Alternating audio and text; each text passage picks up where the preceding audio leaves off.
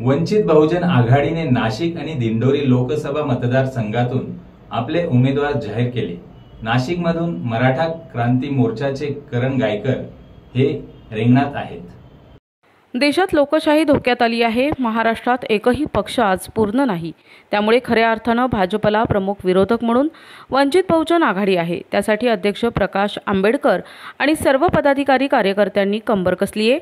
नाशिकमधून करण गायकर हे तीनशे पासष्ट दिवस समाजसेवेतून जनतेपर्यंत पोहोचलेला चेहरा आहे.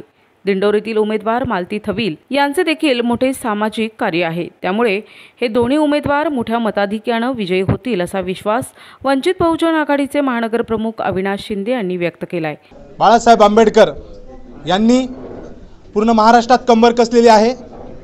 महाराष्ट्रामध्ये कवडीलाही एखादा पक्ष उरलेला नाही. महाराष्ट्राचं राजकारण हे गलिच्छ झालेलं आहे.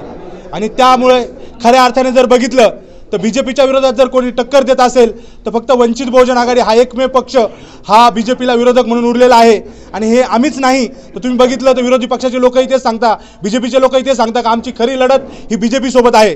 आणि म्हणूनच बी जे पीसोबत बी जे पीला हरवण्यासाठी आणि मोदीला थांबवण्यासाठी आणि या देशात लोकशाही वाचवण्यासाठी श्रद्धे बाळासाहेब आंबेडकरांनी निवडक असं पूर्ण सर्वे केल्यानंतर करणभाऊ गायकर यांची उमेदवारी या ठिकाणी जाहीर केलेली आहे. कारण करणभाऊ गायकर हे वर्षानुवर्ष मराठा आरक्षणाचा लढा असेल शेतकऱ्यांचा लढा असेल यासाठी लढत राहिलेले आहे.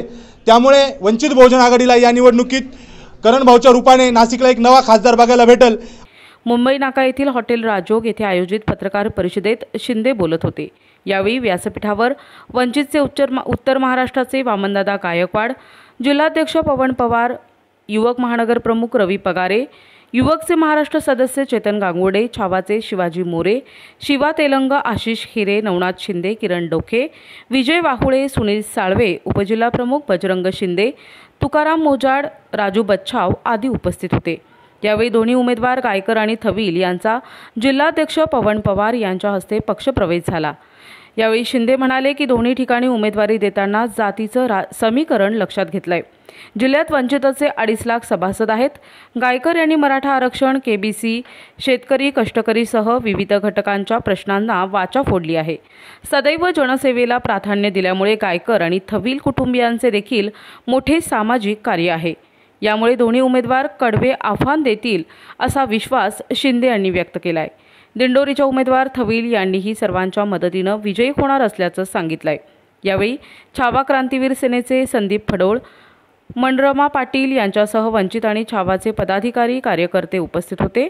आणि आज रोजी आम्ही करण भाऊ गायकर आणि आपल्या ताईंना वंचित बहुजन आघाडीमध्ये यांचा प्रवेश झालेला आहे आणि यांना नाशिक जिल्ह्याच्या लोकसभेच्या रिंगणामध्ये आम्ही आता वंचित बहुजन आघाडी आणि खूप साऱ्या पक्षातनी आणि आम्हाला सपोर्ट केलेला आहे. खूप साऱ्या संघटनांनी आम्हाला सपोर्ट केलेला आहे.